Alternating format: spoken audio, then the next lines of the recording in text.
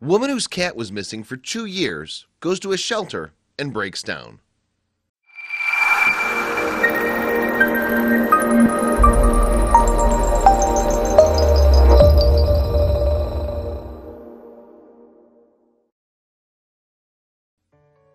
Keeping your cats outdoors might be common, but it can also be a risk. Even the most well-trained kitties are subject to becoming injured or lost and never finding their way back home. By all means, Jimmy the cat was accustomed to the life of a typical outdoor cat in West Milford, New Jersey. For the most part, he stayed close to home, prowling the neighbors' yards and lounging around the safety of the driveway. One day, he suddenly went missing, and his family was devastated. After a lengthy search for their beloved cat, the family had all but given up hope. Then, two years later, they received the surprise of a lifetime. Letting your cats wander around outdoors is risky business. Even pet owners who are comfortable with this will tell you there's always the chance their precious kitties either never come back or they possibly suffer an injury thanks to some sort of predator. Sue Zalitsky always let her cat Jimmy outside of their West Milford, New Jersey home, and he was always diligent about staying close by.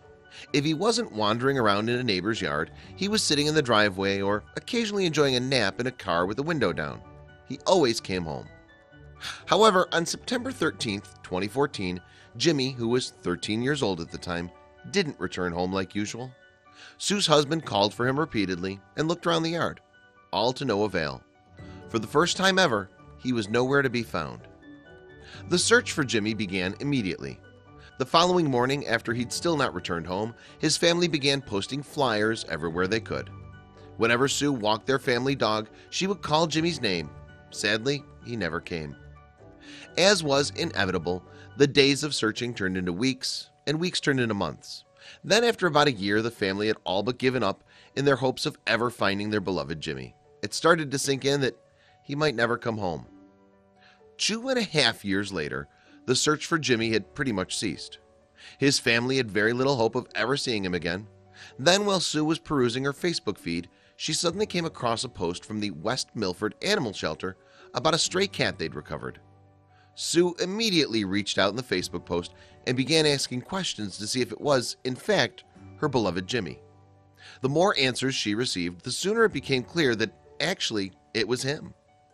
He was found approximately 10 miles from our home after the big March blizzard and brought into the West Milford Animal Shelter, Sue explained in an interview.